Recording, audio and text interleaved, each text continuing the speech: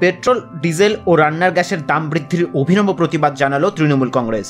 রবিবার বিকেলে বানারহাট ব্লকের সাকুয়াঝোড়া এক গ্রাম পঞ্চায়েতের অন্তর্গত ধীরেন দোকান এলাকায় পথসভা করা হয় তৃণমূলের পক্ষ থেকে। সেখানে একটি টেবিলে ঘুটে ও উনুন সাজিয়ে ফুলের মালা পরিয়ে দেওয়া হয় গ্যাস সিলিন্ডারকে। স্থানীয় তৃণমূল কংগ্রেস নেতৃত্বের দাবি, গতকাল যে পেট্রোলের দাম কমানো হয়েছে সেটা গুজরাট ও তেলেঙ্গানায় নির্বাচনের কারণে। তাও আবার কুড়ি টাকা বাড়িয়ে দশ টাকা কমানোর মতন ব্যাপার। তৃণমূল নেতাদের আরও দাবি যে গ্যাসের মূল্য কমানো হয়েছে সেটা উজ্জ্বলা যোজনার গ্রাহকদের জন্য।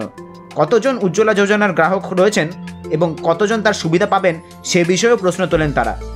স্থানীয় তৃণমূল কংগ্রেস নেতা গোপাল চক্রবর্তী জানান, কেন্দ্রে এই সরকারের জামানায় পেট্রোল সেঞ্চুরি পার করেছে। সেঞ্চুরির দোরগোড়ায় রয়েছে ডিজেল। এদিন পথসভায় উপস্থিত ছিলেন সাকুয়াঝোড়া এক অঞ্চল তৃণমূল কংগ্রেস সভাপতি সমীর পাল।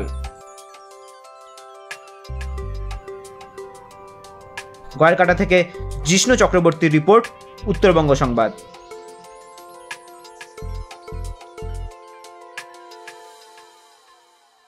সমস্ত খবরের ভিডিও আপডেট পেতে সাবস্ক্রাইব করুন আমাদের নতুন ইউটিউব চ্যানেল উত্তরবঙ্গ সংবাদ টিভি